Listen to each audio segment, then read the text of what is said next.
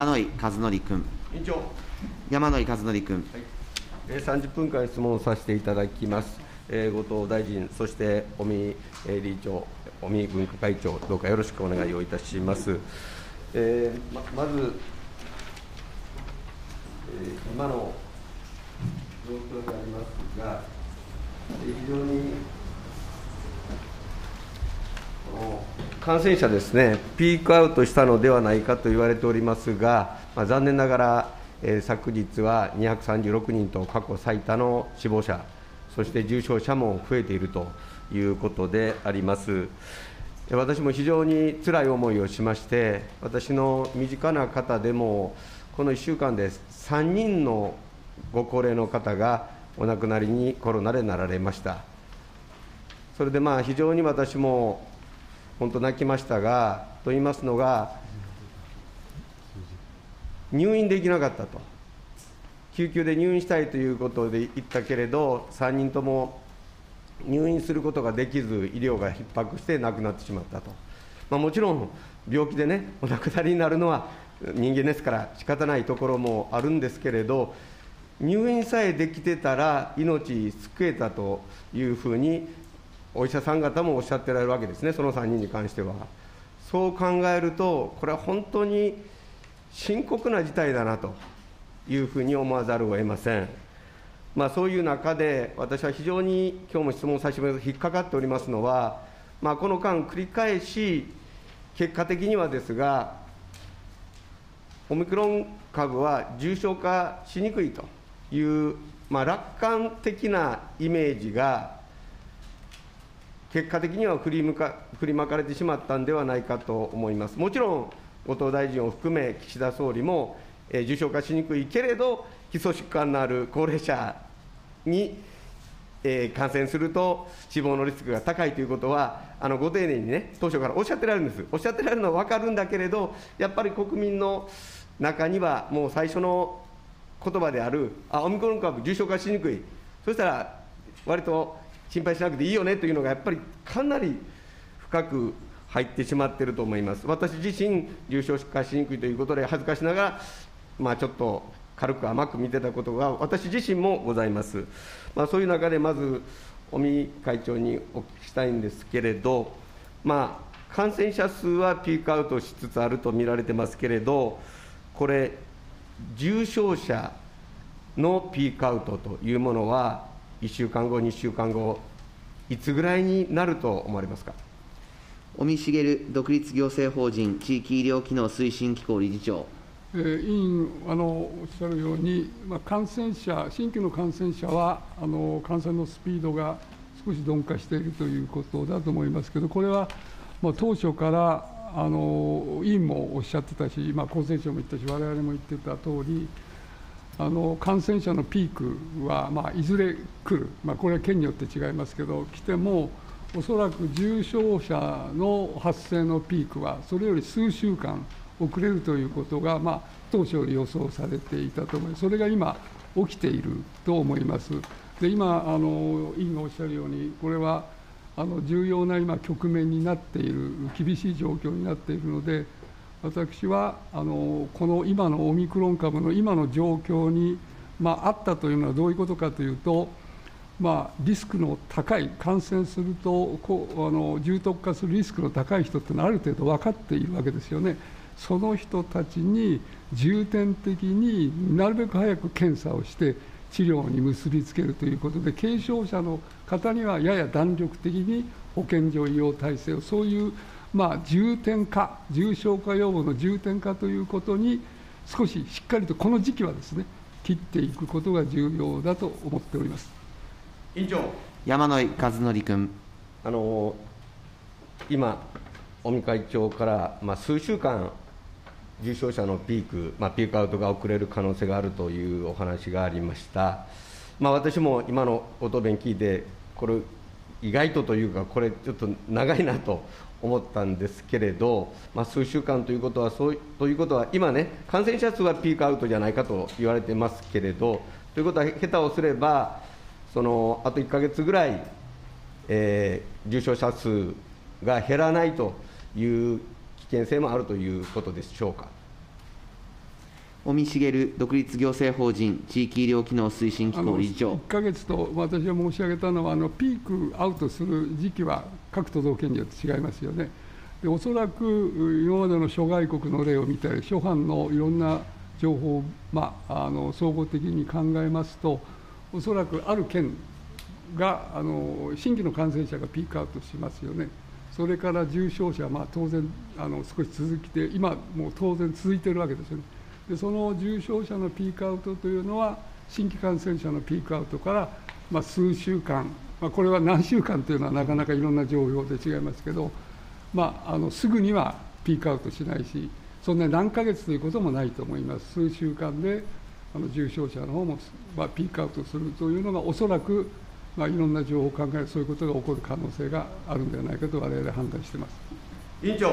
山井和則君。まあ、ということは、今日が2月16日ですから、まあ、3月に入っても、まだ重症者の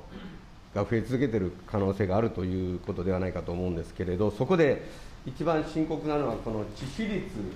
すね。これ、前回も尾身会長と先週火曜日、後藤大臣とも議論をさせていただきました、その時も後藤大臣からは、この致死率というのは、今、下振れしている可能性あると、ね、今後、上がっていく可能性があるという答弁がありました、まあ、その通りですね、この資料にありますように、まあ、国立感染研によると、国内の季節性インフルエンザの致死率は0.02から0.03と、この赤線ですけれど、それに比べて、えー広島はもう今今回というか、最新のこのデータでは0.23%、そして次のこの大阪も0.10%、この大阪の0.10%と言いますが、大阪は例えば1月30日の時点で0.04%だったのが、2週間で倍増以上に増えているんですね。まあ、そういう意味では、これ、このグラフにありますように、まあ後でもちろんお亡くなりになるわけですから、致死率がこれからどんどん上がってくるということを考えると、最初の話に戻りますが、オミクロンは重症化しないと言ってたけれど、後になったら、結果的には非常にこの致死率、まあ、より正確に言いますと、先週、尾身会長からもご答弁いただきましたけど、分母が多いからね、あの致死率という言葉では正確に反映できないのかもしれませんが、やっぱりオミクロンで、少なくとも絶対数の死亡者がこれからも増え続けるというリスクがあるんではないかと思います。えーまあ、そこでなんですが、まあ、先週もこの感染者数が富士山型で緩やかに、まあ、だらだらと長引くのか、マッターホルン型でストンと下がるのかという議論をしましたが、まあ、この死亡率、致死率のことも含めてですね、まあ、あれから1週間経ちましたけれど、尾身会長の認識として、このまあ感染者、あるいは重症者、あるいはというものに関しては、ストンとマッターホルン型で下がりそうなのか、まあ、緩やかに高止まりする富士山型になりそうなのか、そこの現状認識、お聞かせください。尾身茂独立行政法人地域医療機能推進機構理事長。今の現状は、あの感染者が、まあ、私、前も申し上げましたように、若い年生層は比較的落ち着いて、まあ、感染のパターンが二極化している、まあ、保育所とか学校というのが若い、非常に児童、それともう一つは高齢者の感染が、クラスターが高齢者施設で起きているということで、そういうことがあの今、続いているこいますよね。したがってあの委員のお尋ねのマッターホルンか富士山型というと今のところまだ高齢者の、まあ、クラスターが継続してますよね。でここの感染は重症化最悪の場合は死に直結するんでここの感染が今続いてるんでここどう抑えるかによってあの状況は少し変わってくると思いますけど今の段階では急にあのマッターホールのように行くというよりもややどちらかというと富士山型に行くことをもう覚悟しといた方がいいんじゃないかとなそれをなるべく早く垂直にするの方に近づけるために今懸命な努力をこれから国自治体我々国民も協力してやるべき時期に差し掛かっていると思います。委員長山井和則君。いや私はあの尾身会長のおっしゃっていることは非常に重要で、と言いますのが、私の周りで今、どういう声が出てきているかというと、あのピークアウトしたんでしょ？ということはもう3回目のワクチン接種、やめときますと、もうピークアウトしたんですよねと、こういう認識があるんですよ。ところが今、尾身会長おっしゃったように、高止まりするリスクはあるし、おまけに重症者はこれから死者も増え続け、ね、数週間増え続けるということは、まあ、言いづらいけれど、ここで気を緩めたら、本当に今、尾身会長おっしゃったように、どんどんどんどん高止まりして、出口が見えなくなってくるリスクがあると思うんです。そこで尾身会長にお伺いしたいんですが、私はもうこの出口戦略、まあ、分科会でも議論されるそうですけれど、まあ、3条件ではないかと思います。一つは3回目のワクチン接種がどれだけ進むか、一つが3回目のワクチン接種の進捗率、2つ目は検査体制の充実ですね、先ほどおっしゃった、すぐに検査を受けられる検査体制の充実、それと3つ目は経口薬、飲み薬の供給の整備、整備、この3点だと思われる、私は思うんですけれど、まあ尾身会長からして、今後、出口戦略ということを考えたときに、出口戦略のまあ要件というものは、どういうものだと思われますか？尾身茂独立行政法人地域医療機能推進機構理事長。あの今、委員おっしゃるように、ワクチンと検査と薬という3要素が非常に重要だというのは、私も全く同感です。その上で、えこの前の基本的対象時分科会で、いろんなあの医療関係者だけじゃなくて、経済だとか、いろんなあの方がおられるんで、そこで出た意見の、まあえー、趣旨はですね、こういうことだと思います。えー、出口戦略といっても、すぐに出口があれで今、安心なんていうことじゃなくて、私はあの中2つのことを考えたらいいと思います。まずは今のこの現状ですよね、もうオミクロン株にて、まあ、重症者が増えている、こので富士山型になる可能性があるという、この状況にをどうこれを、まあ、あのなるべく早く抑えていくかという出口戦略が一つあると思います。それともう一つは、ややこの一応、今のこのいわゆる第6波で抑えた後ですね、この後のことは、これはどちらかというと、中長期の話だと思いますけど、このことも考えておいた方がいいと思います。でこの2番目の方はですね、実はかなり不確定要素があって、これからまあウイルスの変異ということもあるし、まあ、どこまで感染を下火にできるかという、いろんな、あと日本の医療体制、検査体制、薬の、そういう今、委員がおっしゃるようなことがあるんで、でここは中長期の方は私はいくつかのシナリオを用意しておく必要があると思います。一つこれだけでいくというでこれは今このウイルスの特徴はまだウイルスとしての進化の進行中なんですよね。だからこのままこのいくというふうに、まあ、全てをそこにかけるというよりもいくつかのシナリオごとの、まあ、対策というのを早めにそういう意味での出口戦略ということだと私は思っています。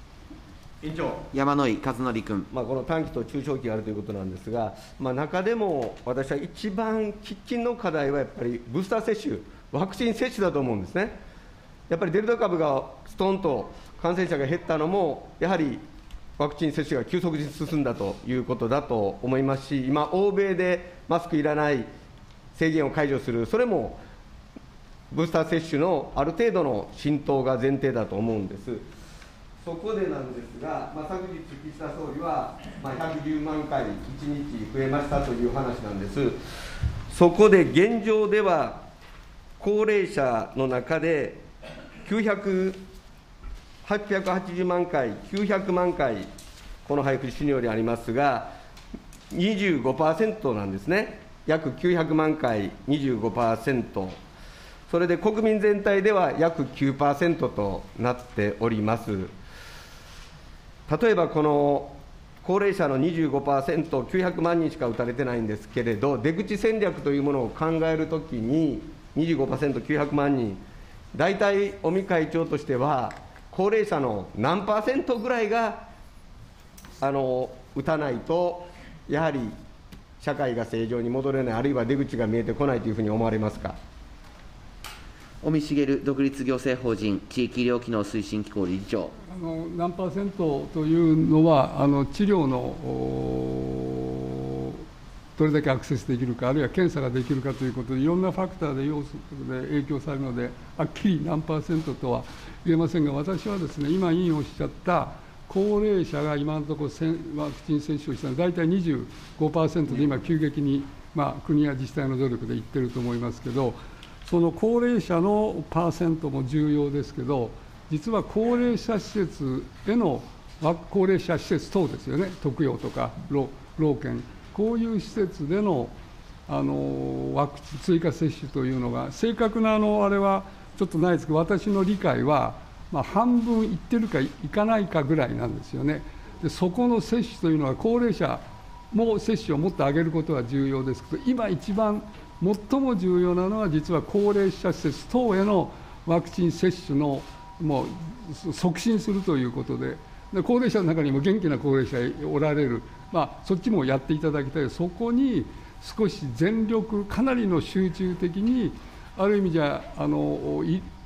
ワクチンを打つ医療関係者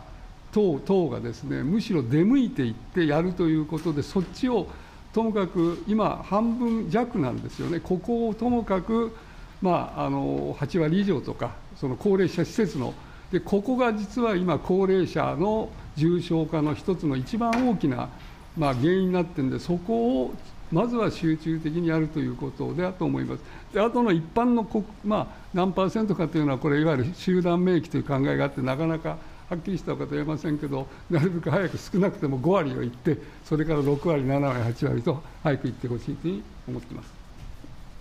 委員長山野井和則君。いや、今おっしゃったように、私の、まあ、身近でも私も先日訪問しましたが、介護施設でクラスターが起こって、2、30人職員さんと利用者さんあの入居者さんが感染されてる、あるいは障害者施設でのクラスターが発生したと、もう日本中そういう状況なんですね。そこで後藤大臣に質問通告をしておりますが、問題は、まあね、海外の事例でも亡くなった方の半分以上は介護施設だったというような事例も海外であるわけですけれど、日本のまず現状ですね。介護施設の高齢者、何人中何割が打ってられるのか、そして介護職員何人中何割が打っておられるのか、これ、質問通告しておりますので、お答えください後藤茂之厚生労働大臣。あの新型コロナワクチンの3回目接種、あの本当に今、委員のご指摘のとおりで、えー、介護施設等の高齢者施設、最も重要なことだというふうなところは全く同感で、今、必死になって取り組んでおります。今、2月8日の時点で、まあ、7割以上の自治体で、12月以前に施設に案内状をすでにそのしっかりと送っていると、案内済みであるというふうに答えておりますし、1月までにほとんどの自治体で案内を実施済みということで、ございます。で今あの、どのぐらい多くの自治体でそういった準備が進んでいるということで、ございますが、あの現在の、えー、接種完了者数、あるいは完了見込み者数につきましては、2月末までの接種完了見込みの把握に努めているところでありまして、現在、総務省と連携をしながら、各自治体に対しまして、改めて最大限の努力をお願いするとともに、その実数の把握等を行っているところでございます。もう近々、えーと、本日にも数字を出すようにということで、えー、調査をいたしております。委員長山野井和則君。これあの、長妻議員も先日、与党大臣に要望された件なんですが、うん、まあ、ちょっとね、やっぱり今、尾身会長からも話があったように、全国で介護施設でクラスターが起こって、次々と高齢者が死んでる、一番の最優先課題が介護施設の高齢者と職員の方にブースター接種、3回目接種をすることだと言ってるときに、現状で何割の介護職員か高齢者が打ってるかは今、調査中ですというのはね、まあ、でも今日発表してくださるということで、まあ、私たちも今までから要望してましたから、あのありがたいことなんですけどね、やっぱりそれは非常にちょっと残念なんですよね。それで先日、長妻議員からも話がありましたが、まあ、今日中に現状が報告されそうですけれど、これ本当に私も言われましたけれど、介護施設、あるいは障害者施設でクラスターが発生して、そこでお亡くなりになった方も誰かおられます、もう地獄だとおっしゃってましたね、地獄だと。もうそれぐらい切羽詰まっております、これ、守るにはもちろん医療体制の充実も重要なんですけど、ブースター接種しかないと思うんです。ついては、長妻議員からも要望させていただきましたように、今日現状把握をされるということがした上で、やっぱり2月末までには、すべての介護施設の入居者、介護職員の3回目接種完了、もちろん強制はできませんよ、大前提ですけど、強制はできないとはいえ、希望者の全員の接種を目指す、そのことを後藤大臣、この場で言っていただけませんか？後藤茂之厚生労働大臣。あのワクチンはあくまで希望する方に接種するものでありまして、まあ、対象となる方全員に接種するということは限らない、そういうことに留意すべきであると。いうふうに考えておりますけれども、介護施設の入所者等のうち、希望する方への接種については、2月末までに完了できるようにということで、われわれとしては今、必死に取り組んでいるところであります委員長山野井和則さん。これ、申し訳ないけど、先日、現場議員への質問の回答で、2月中の完了を、えー、介護職員、介護施設の入居者、目標としているわけではないと答弁されたんで、私も質問されてるんですけど、ということは、まあ、あれから数日経ちましたけれど、今日においては、介護施設の高齢者、そして介護職員も含めて、セットで希望者にはですよ、もう繰り返し言います、希望者には2月末の接種完了を目指す、そういうことでよろしいですか？委員長。後藤茂之厚生労働大臣。あの目標として目指しているのかということで言えば、えー、目指しているということだというふうに、えー、思いますけれども、えー、あのお尋ねの時に若干ニュアンスが変わりますのは、それがあの努力したいということであるのと、例えばあの1日100万回の接種というようなお尋ねのいわゆる、えー目標として達成するということについて、若干のニュアンスの違いがあるわけでありますけれども、ともかくこの高齢者施設については、本当にできる限りということで、あの前倒しが遅かったとご批判を受けているこの6か月の前倒しについても、この施設関係は、最初から6か月の前倒しということで、医療関係者と同等の重要性を感じて取り組んでまいりましたんで、われわれとしては、2月いっぱいになんとか進めるように、最大限の努力をしてまいりたいと思います。委員長。山井和則君、まあ、この議論、長妻議員、現場議員、私と続けてやってるんですけどね、ちょっとまあ念のためなんですけれど、自治体に通知を今日にでも出していただけませんか、今朝も私、地元のお医者さんから言われました。介護施設で打とうと思ったら、いや、まだちょっと早いから打ったらだめと、自治体から止められましたと、残念ながらそういうところあるんです、これはね、後藤大臣が悪いわけではないんですけれど、やっぱりこれだけ介護施設が重要だと言ってても、まだ正直言ったように、地域って温度差があるんですよ、本当に。そういう意味では、これは本当に2月末を目指すんだということは、国会で言っていただいても、それは、まあ、言っちゃ悪いけど、広がらないわけで、ついてはもう今日中にでも、2月末までにすべての介護職員、そしてあの入居者、打って打つように目指してください、希望者にはということを自治体に念のため、通知で出していただけませんか？後藤茂之厚生労働大臣。あのこれまでもたびたび通知は出しておるんですけれども、あの希望する方への2月末までの追加接種を確実に、えー、完了いただけるよう、最大限の努力をお願いいたしますということで、そう書きました通知を2月の10 15日に発出をいたしております。山井和則ということは、昨日出したわけですね、わかりました。えー、それで、すべての、えー、方へのワクチン接種の話になりますけれど、まあ、岸田首相は昨日、110万回ということを1日増えたということなんですけれど、このグラフを見てみましたら分かりますように、そもそもの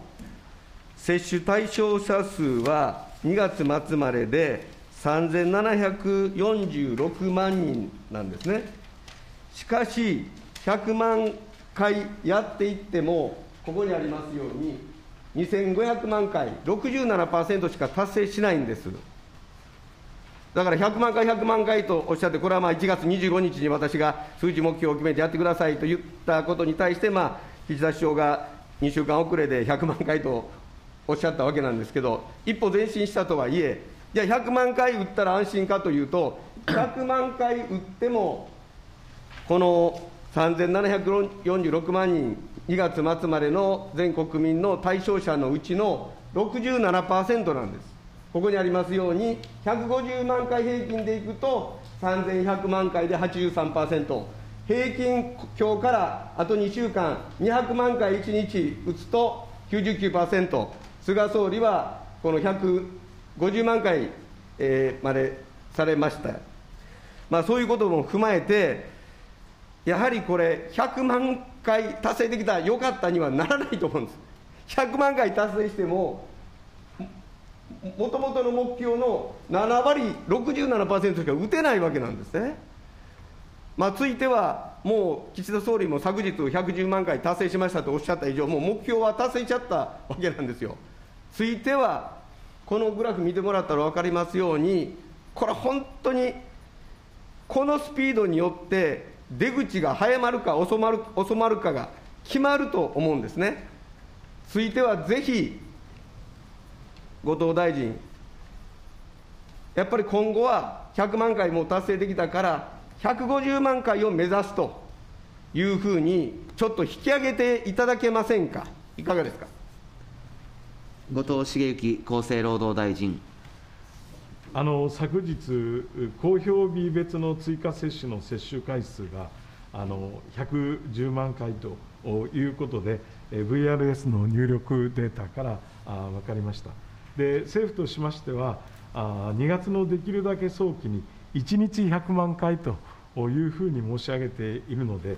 1、2回目接種の時と同じ考え方で、その日に接種された回数、1日にですね、それが100万回以上となることを目指しておりまして、できる限り速やかにそうした目標に向けてしっかりやっていきたいというふうに考えております。ともかく総接種回数の増加回数が100万回を超えたことも一つの指標であるというふうに考えておりますけれども、今後ともますますえー、しっかりとペースアップに、えー、努めていきたいというふうに思っております委員長山野井和則君。先ほど介護施設については通知を出したということですが、それであれば、次に急ぐ高齢者、今、この接種対象者がですね、高齢者2月末まで2900万人なんですね。でも今は先ほど言ったように900万人、つまり25%しかいってないんです。でも予定通り、ここに書いてある年末の予定通り、2900万人に打てたら、80%の高齢者が打てたことになるんです。1日100万回というよりも、それ重要ですよ、それもやっていただくんだけれど、やはり、もともとこれ、スケジュール、枠を確保してるあるわけですから、接種体制も整備してあるわけですから、長妻議員もおっしゃってたように、2月末までにこの2900万人、その体制は用意してあるんだから、高齢者2900万人を打つようにという、こういう通知、実際に出していただけませんか？後藤茂之厚生労働大臣。今、お示しをしていただいている、その図でございますけれども、まさに、数字について、もちろん厚生労働省が出している数字ですから、あのその通りなのは当たり前なんですが。1、2回目接種が完了した方が、2回目接種完了後、3回目接種を受けるタイミングがいつになるかということを、まあ、前倒ししたときには、その前倒しに合わせて、きちっと2回目接種からの推計を、時期を踏まえて、えー算出したもので、えーございます。また、あの2月のできるだけ早期に、ともかく1日100万回までペースアップするということを目標として掲げて、今、取り組んでおりますし、また、あの各市町村等に、えー聞いていますと、2月の末日までに、えー2月中に、えー接種を希望する高齢者の皆さんに、えー打てると、打つというふうに答えている自治体はあ97%おりまして、えー我々としては、あ関係自治体に、えー何らかの支援が必要であれば、あ支援もいたしますし、また国民の皆様には、ワクチンの有効性、安全性、あるいはワクチン、接種にあたっての交互接種の安全性、有効性等も含めてですね、しっかりとご説明することによっ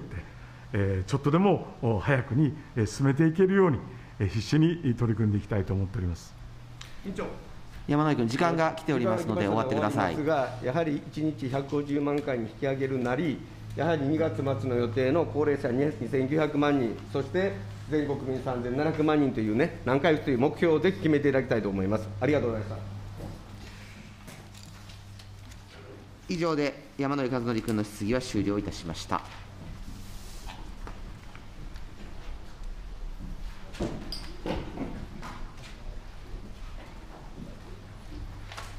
次に小林茂樹